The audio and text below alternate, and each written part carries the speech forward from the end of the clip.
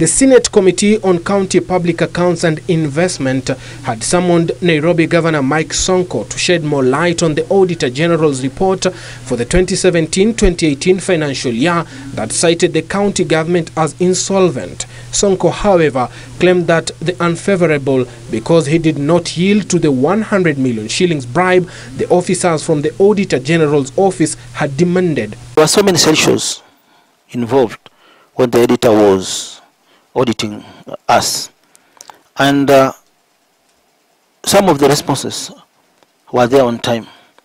But Mr. Chair, this is a deal gone sour between the auditors and some of the officers we inherited from the previous administration who believe corruption cannot be fought in Nairobi City County. The Moses Kajwang-led committee also took Sonko to task over an achievement of only 41% in revenue collection in the last two financial years and the allocation of a partially 6% of its budget to development. It is indeed true that you did not perform uh, as well as uh, the previous uh, government did in its final year.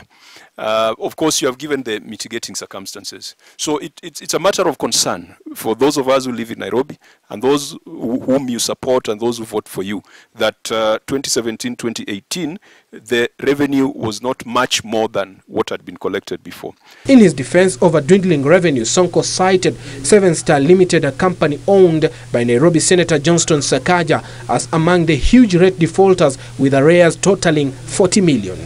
Uh, a company by the name of Seven Star Media Limited, which is uh, uh, uh, putting up billboards and street poles in Nairobi City County.